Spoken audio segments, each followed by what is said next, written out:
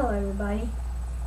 My name is Jeremy Merle and today I'm going to show you how to how to connect a camera to your home computer. The first thing you have to have is any kind of camera, whether it's digital or analog. The first thing you need to do is find a little port. I don't know if you can see it well, but it has the words um, let's see. It has the words A slash V out on there. Next to there is a there's a little door on this camera. When you open it, there there should be a little um, plug. You see it? There's the plug. Next, what you need, the next thing you need is a long digital cord.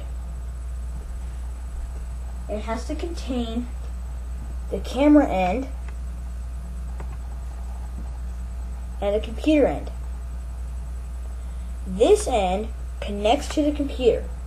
If you have a laptop or any kind of computer, if you have a computer tower, it is going to go into the computer's tower, either on one on either on one or two kind of uh, USB ports.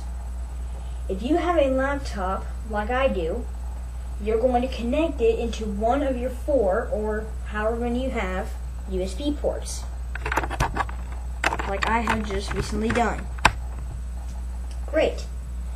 Now that that's over with, take your camera and take the other end and make sure that both of these ends, yeah, hold on, there we go. Next, what you want to do is you want to take both ends like this and you want to make sure that you put it in correctly.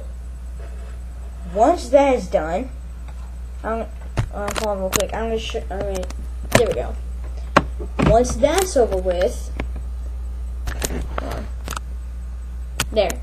Okay, once that's over with, you're going to take your camera and press the power button wherever it is found. And the next thing that's going to happen is when you turn on, the lens will come out, but nothing's going to appear on the screen. And the next thing you're going to want to do is follow the on-screen instructions. Once that's over with, your pictures will be saved on your computer. I'm Jerry Merrill, and thanks for watching.